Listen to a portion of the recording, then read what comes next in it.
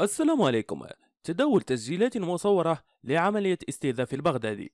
إن لم تكن مشتركا في القناة فاشترك لتتواصل بجديد الأخبار العاجلة والحصرية حول الدول العربية. تداول ناشط وإعلاميون سوريون على منصات التواصل الاجتماعي تسجيلات مصورة لما قالوا إنه المكان المستهدف من قبل القوات الأمريكية في عملية نفذتها أدت لمقتل زعيم تنظيم الدولة أبو بكر البغدادي بحسب ما نقلت وسائل إعلام أمريكية. ويظهر التسجيل الأول أن المكان المستهدف هو منطقة بريشة في ريف إدلب بالقرب من الحدود السورية التركية وقد سويت منازل فيها بالأرض ودمار كبير في المكان. وفي تسجيل تالي يظهر المكان المستهدف ويتحدث فيه أهل من سكان المنطقة يشيرون إلى وجود جثث متفحمة في المكان. وأورد ناشطون تسجيلا ثالثا قالوا إنه لحظة بدء الهجوم يظهر فيه طائرات تحلق وأصوات متفرقة لإطلاق نار في المكان.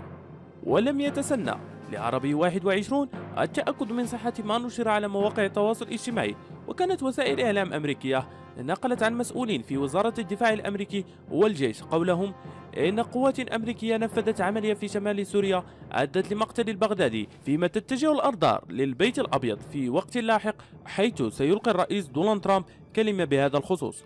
وفي الأخير إذا عجبكم الفيديو لا تنسوا الإعجاب والاشتراك في القناة والتعليق.